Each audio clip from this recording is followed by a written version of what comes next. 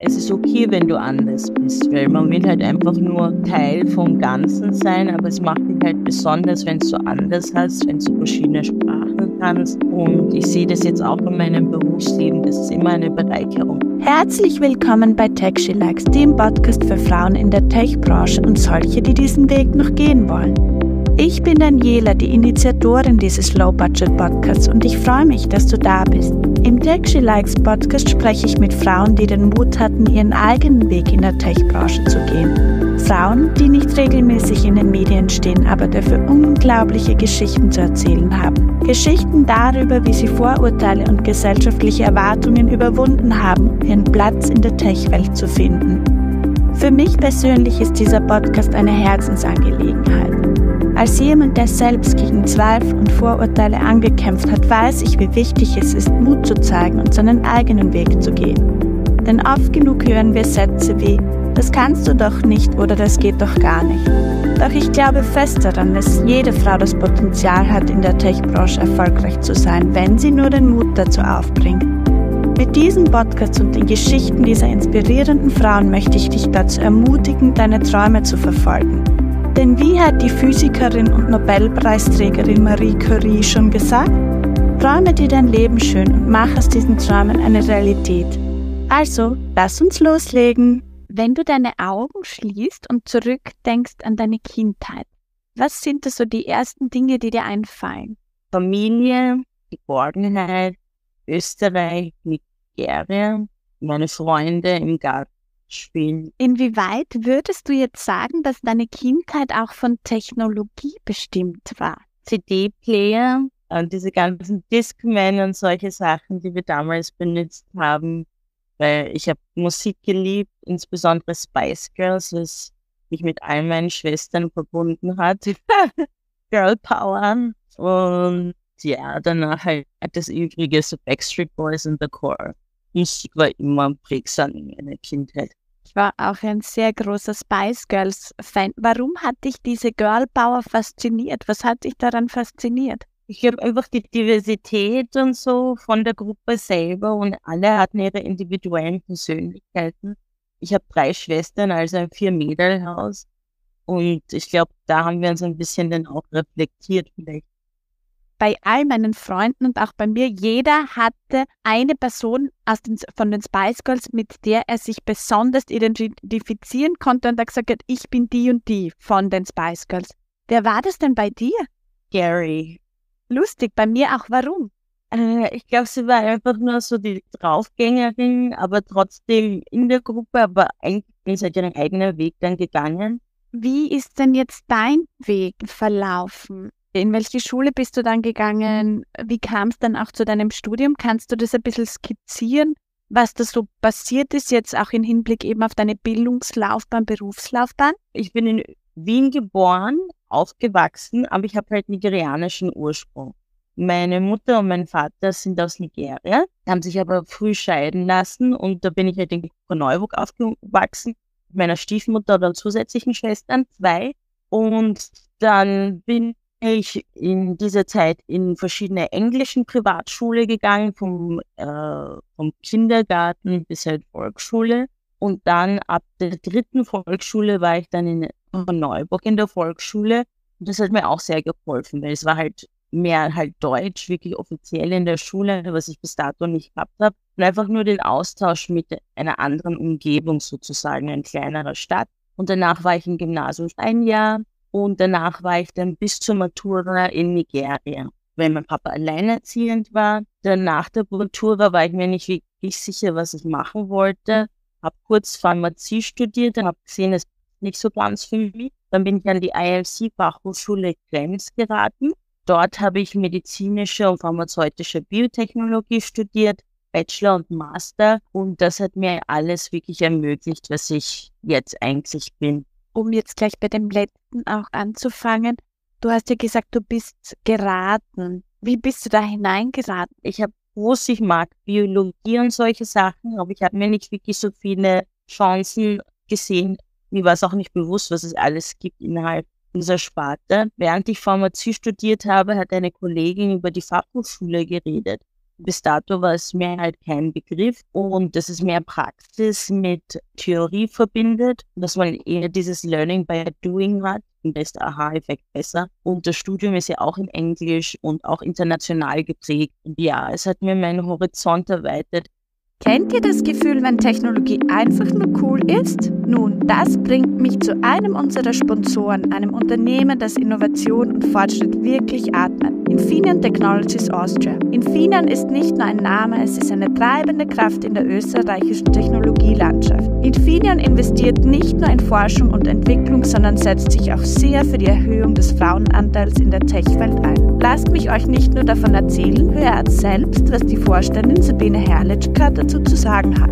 Ich freue mich jedes Mal, wenn, man, wenn ich bei Veranstaltungen bin und junge Leute auch am Podium. Letztens hat wieder eine gesagt, sie, sie war beim Girls Day und deswegen hat sie sich dann ein naturwissenschaftliches Studium ausgesucht. Super, genau so, dazu ist es da. Deswegen ist mir auch immer das Thema Bildung und Ausbildung so wichtig. Deswegen engagiere ich mich, aber auch als Unternehmen in, in vielen Formaten, ob das unser Kindergarten ist, die Kinderkrippe, wir einen Schwerpunkt Naturwissenschaften und Technik haben, ein Science Minis Lab zum Beispiel, wo wir den Kindern schon ganz früh vermitteln, äh, wie spannend Naturwissenschaften und Technik sind. Die meisten Kinder haben ja ein natürliches Interesse. Also man, man muss ja einfach nur darauf aufpassen und das weiter stärken. Oder bis zu den Schulen und dann weiter. Also das, das, ist, das ist schon etwas, das, das ist mir wichtig und das ist uns als Unternehmen wichtig, weil, weil wir pausenlos darauf aufmerksam machen wollen und zeigen wollen, wie spannend es eben ist, einen persönlichen Lebensweg in Naturwissenschaften und Technik zu verfolgen. Vielen Dank an Infineon Technologies Austria für Ihre Unterstützung. Und jetzt ab zum eigentlichen Podcast. Sehr spannend, dass du jetzt auch die Sprachen erwähnt hast, dass das Studium auch in Englisch war. Mit wie vielen Sprachen bist du selbst auch aufgewachsen? Meine Mama konnte nur Hausa und unsere Stammesprache und natürlich auch Englisch. Das heißt, als sie noch da war, war der Fokus, haben wir halt nur die afrikanischen Sprachen, das ist Hausa gesprochen und halt die Stammesprache, ich und meine ältere Schwester. Und dann, als sie halt sozusagen, als sich meine Eltern scheiden lassen äh, haben, war dann der Fokus eher mehr auf Deutsch, weil wir halt in den Kindergarten gegangen sind oder halt auch durch unsere Stiefmutter und so war es halt dann Deutsch der Fokus. Dann haben wir unsere afrikanischen Sprachen verlernt. In unserem Haushalt ist es ein Misch halt von allem. Meistens Deutsch, aber auch Englisch und Hausa. Boah, ich beneide dich darum ich wäre unglaublich gerne mit so vielen unterschiedlichen Sprachen aufgewachsen, weil ich finde, das ist ein Reichtum, den man nie wieder erlangen kann. Hast dann Praktika äh, zum Beispiel in Boston äh, und dergleichen gemacht. Wie, wie bist du da hingekommen? Zum Beispiel für Bachelor wie auch Master gibt es ein spezifisches Semester von der IMC vorgesehen, dass man halt ähm, macht, um halt seine Master- bzw. Bachelorarbeit zu schreiben. Und ich habe mich halt, ähm, ich wollte halt was Neues und halt mal sehen, was es draußen gibt außerhalb von Österreich. Und darum habe ich mich zuerst ähm, im Bachelor auf Deutschland fokussiert, habe halt hunderte von Bewerbungen geschrieben und habe dann meinen, ähm, meinen dann Chef dann kennengelernt, den Hans Will in Hamburg beim Heinrich-Peter-Institut. Da war ich sehr verbunden mit ihn hatte halt so ein Vorab-Interview mit meiner älteren Schwester und das war eine ziemlich coole Erfahrung. Das war 2011 bis 2012, circa sieben Monate und dort habe ich halt meine erste Bachelorarbeit dann geschrieben. Boston war genauso. Meine Mama wohnt ja auch in den USA. Das wäre dann das Unternehmen. Habe mich halt für die Stelle beworben, auch hunderte von Bewerbungen. Und dann habe ich auch diese Stelle dann bekommen. Und das hat auch meinen Horizont immens erweitert und mir einfach nur eine Idee gegeben, was alles in der Welt für Möglichkeiten gibt, insbesondere Technologie. Was machst du jetzt auch heute? Wie kann man sich deinen Job vorstellen? Ich bin zurzeit Senior-Technikerin in der Tierimpfstoffproduktion. Die Stelle ist breit gefächert, weil unser Standort ist ziemlich neu. Das heißt, am Anfang war ich, war, gab es noch keine Routineproduktion. Da war ich involviert in verschiedenen Dokumenten schreiben, um uns halt für die Produktion vorzubereiten. Und diese ganzen Validierungstätigkeiten, halt die ganzen Anforderungen von regulatorischen Instituten. Insbesondere meine Arbeit jetzt ist halt die Herstellung von den bakteriellen Antigenen, das heißt die Inokulierung von den Antigenen, das Weiterkultivieren in riesigen Edelstahlbehältern, aber auch das Abzentrifugieren von den, ähm, von den Antigenen, damit es schlussendlich bereit ist für die Abfüllung, wie auch halt, dass es dann schlussendlich gemischt wird, damit wir halt die Impfstoffe bekommen, die dann schlussendlich in die Tiere gelangen. Ja, spannend, was du machst. Wann hat sich das abgezeichnet, dass du in diese Richtung gehst? Nach dem Studium war ich eigentlich überall. Ich, ich bin halt mehrfach talentiert und interessiert. Ich weiß, ich wollte in die Pharmaindustrie. Das heißt, zuerst nach dem Studium oder parallel zum Studium war ich auch Telefonistin, aber Richtung Pharma-Marketing. Dann war ich, habe ich dann noch ein Praktika gemacht in einem Forschungsinstitut in Wien, ähm, das Institut, Institut für molekulare Medizin, ZEM, um einfach nur mein Netzwerk zu erweitern. Ähm, danach war ich in Kärnten als Qualitätssicherungsmanagerin für circa fünf Monate, aber dann wurde ich von einem Biotech-Startup geworben in Wien. Das ist im Wiener Biocenter mit Fokus auf Tuberkulose. Und das ist halt auch relevant für Nigeria. Darum habe ich meinen Sack und Pack wiedergepackt und bin halt zurück nach Wien. Startups sind halt ziemlich begrenzt und kurzfristige Verträge haben solche Sachen. Und da war ich halt als Labortechnikerin tätig in diesem Startup. Nach dem Startup wollte ich halt in die Pharmaindustrie, damit ich halt ein bisschen mehr Stabilität bekomme, weil ich halt älter geworden bin und ein bisschen mehr Stabilität wollte. Und so bin ich dann wieder in Krems gelandet. Ich habe in deinem Lebenslauf gesehen, dass du ja auch neben deinem beruflichen Engagement als Integrationsbotschafterin tätig bist und auch äh, als Mentorin im österreichischen Gewerbeverein auch mal tätig warst und auch quasi mit Teenagern da durch diese Rollen in Verbindung stehst. Wenn du eben so in so Schulen gehst, ähm, zu diesen Teenagern, zu den Jugendlichen, was erzählst du denen? Ich erzähle ihnen über halt meinen Werdegang, meistens sehe ich mich in den Kindern auch reflektiert, da ich hier auch aufgewachsen bin und weiß, was für Situationen sie eventuell durchgehen muss. Und ich versuche denen einfach Mut zu machen, zu motivieren und durch meinen Werdegang halt auch ja, anschauen, was möglich ist, wenn man an sich glaubt oder die in deiner Umgebung an dich glauben dich motivieren. Gibt es da so Beispiele für Situationen, durch die du durchgegangen bist und wo du auch sagst, okay, das wäre jetzt mein Appell an dich, an Menschen, die eben hier aufgewachsen sind, das besser zu machen, das anders zu machen? Es sind so viele Faktoren, wo man einfach in den Medien geprägt wird. Zum Beispiel bei afrikanischen Menschen, glaube ich, das meiste ist halt andere Haare. Man hat dementsprechend andere Frisuren. Verschiedene Bad Hair Days oder Good Hair Days, wie jeder halt durchgeht.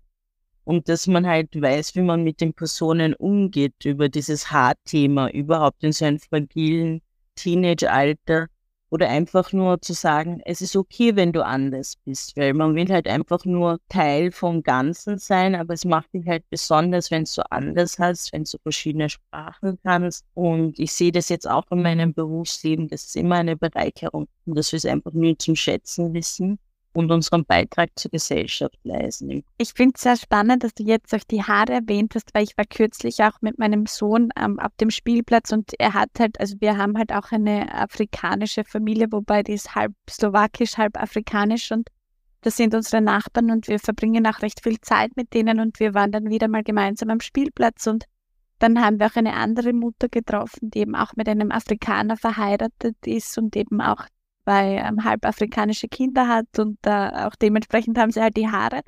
Und ich habe sehr lange den Müttern zugehört, wie sie über die Haare gesprochen haben. Und mir war das ja gar nicht bewusst, wie pflegeintensiv deine ähm, Haare ja auch sind. Es ist wirklich ein interessantes Thema, weil ich habe auch Schwestern, die halt sind bi biracial sozusagen. Und es ist auch interessant, wie sie auch ihren Weg gegangen sind mit ihren Haaren. Zum Beispiel halt chemisch geglättet und dann die eine oder beide jetzt nicht mehr chemisch glätten. Und dann, wo die Mutter auch nicht gewusst hat, wie sie damit umgeht, mit den Haaren überhaupt, wo sie aufgewachsen sind. Wir hatten auch gestern dieses Thema gerade. Es ist halt einfach alles komplex. Auch ich und meine Schwester zum Beispiel, ähm, die ältere Schwester jetzt, wie verschieden auch innerhalb der Familie die Haarstruktur sein kann oder auch die Bedürfnisse. Jetzt ist ja auch dieses Thema verschieden zu sein, Diversität, gerade jetzt im MINT-Bereich, Technologiebereich, ähm, unglaublich großes Thema. Auch du hast jetzt auch selbst gesagt, es ist unglaublich wertvoll, eben unterschiedliche Sprachen auch zu sprechen, ähm, sich in diversen Umfelds auch ähm, zu bewegen. Wie kann man sich denn überhaupt auch so ein diverses Umfeld schaffen? Vielleicht an meinem Beispiel, ich bin so aufgewachsen natürlich am Land, ganz klassisch so Arbeiterfamilie. Es sind alle eigentlich im Dorf geblieben, die wenigsten sind weggegangen. Also von meiner Klasse ist alleine schon keiner fürs Studium nach Wien gegangen. Die meisten sind halt nach Graz gegangen eine Stunde entfernt und ja, man bleibt eigentlich so in seiner Bubble. Und was kann man tun, wenn man eben in dieser Bubble bleibt? Ich finde, Reisen ist ein guter, weil zum Beispiel der Freund von meiner kleiner, kleineren Schwester ist ursprünglich aus Südtirol, ähnlich wie du, auch aus einem kleinen Dorf sozusagen, wenn ich sagen darf. Und er hat sich durch Reisen den Horizont erweitert. Bei mir ist es genauso. Das Fundament, glaube ich, ist auch die Freunde, die man halt in der Volksschule und so weiter hat. Das hat mir auch viel bereichert. Überhaupt die internationalen Schulen hat man halt das Glück, dass es schon so divers ist, dass man zum Beispiel mit allen möglichen Nationen in Kontakt kommt. Dann im Gymnasium wurde es halt weniger, aber in Nigeria hat man zum Beispiel auch Diversität durch die Stämme und so. Das ist mir auch sehr wichtig wie durch die Namen richtig aussprechen. Hast du das so Tipps und Tricks, was du das Aussprechen von Namen betrifft? Mir fällt es manchmal halt echt schwer und ich merke es halt auch, ich bin ja auch Lehrerin in der Klasse und ich sage dann oft den Namen gar nicht, weil ich will halt eigentlich den auch nicht falsch sagen, aber ich weiß oft halt einfach nicht, wie ich ihn aussprechen muss. Kannst du mir da was mitgeben? Ich würde halt vorab die Person selber fragen mit den Namen, wie spricht man es am besten aus, dass man es halt wiederholt zwei, drei Mal. Manchmal vergisst man es auch, aber dass man vielleicht vorab sagt, falls ich dann irgendwie falsch ausspreche oder so, bitte weis mich darauf hin, wie das ist. Und dann wissen sie wenigstens, okay, du machst dir die Mühe, um den Namen richtig zu auszusprechen. Und das ist dann auch ein mehr so ein Aha-Effekt, aber sie wissen es dann auch zu schätzen. Hattest du mal Nachteile durch deinen Namen auch jetzt, ähm, also ich bin mir ziemlich sicher, die hattest du vermutlich ähm, gerade jetzt auch im privaten Bereich, aber auch im beruflichen Bereich, im technischen Bereich? Es ist meistens nicht so ganz so evident, aber ich weiß, dass ich zum Beispiel nach dem Studium länger gebraucht habe, als die anderen eine Stelle zu bekommen. Ich weiß, ich habe halt gute Noten gehabt und alles Mögliche. Es kann wahrscheinlich auch verschiedene Faktoren sein. Aber ich weiß halt, der erste der Kontaktpunkt mit mir ist halt der Name, eventuell das Bild. Und ich kann verstehen, wenn dann vielleicht jemand mit ähnlichen Namen wie die Person, wie jemand halt wie der Personalwesenperson oder sowas ist, ist es eher mehr eine sicherere Option als jemand, wo man überhaupt nicht mal zuordnen kann, wer die Person ist. Und es kommt schon die Barriere manchmal, wenn man ohne Foto so Frau oder Mann.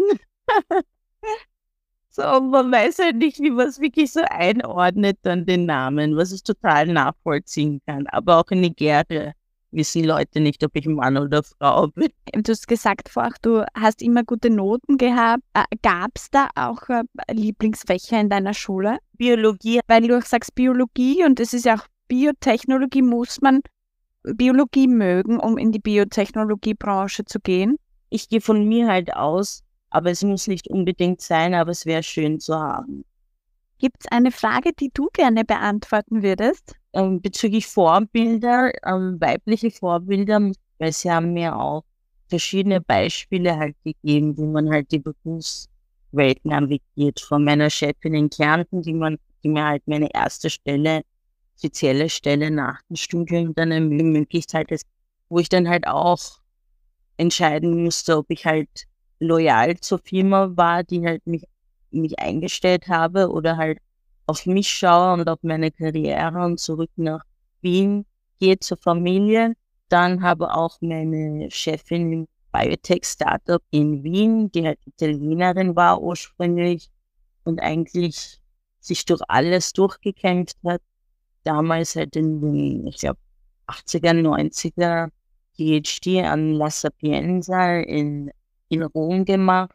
Wirklich faszinierende Frauen oder halt auch in Forschungsinstituten, die ganzen Postdocs oder PhDler, die einfach nur mit so viel Kraft und Selbstvertrauen eigentlich durch das Leben navigieren, mit auch werden dazwischen und was für Karriereoptionen sie dann später haben. Oder jetzt meine Kolleginnen in der Produktion, wo wir eigentlich und die auch mich Tag für Tag inspirieren. Du hast ja auch eben von deiner Karriere gesprochen. Wie wichtig ist dir Karriere? Mir ist wichtig Karriere, aber nicht, dass ich halt mein eigenes Leben verliere, sozusagen mein persönliches ich finde, man muss halt immer diesen Ausgleich finden, diesen Work-Life-Balance. Und manchmal funktioniert es, manchmal funktioniert es nicht, aber man muss halt selber für sich dann immer reflektieren und schauen. Wie findest du jetzt diese Work-Life-Balance und was machst du außerhalb deines professionellen Lebens gerne? Ich lese halt gerne, das hilft mir natürlich auch im Job. Musik höre ich gerne. Thema Afrika, weil viele Leute fragen mich, ah, was ist Afrika? Und so Geschichte selber interessiert mich halt selber, dementsprechend lese ich halt gerne. Bezüglich Business bin ich auch interessiert, weil es schafft so viele Möglichkeiten dann auch. Ich gehe auch gerne wandern. Ähm, ins Fitnesscenter habe ich jetzt verschiedene Kurse jetzt kennt, ähm, entdeckt.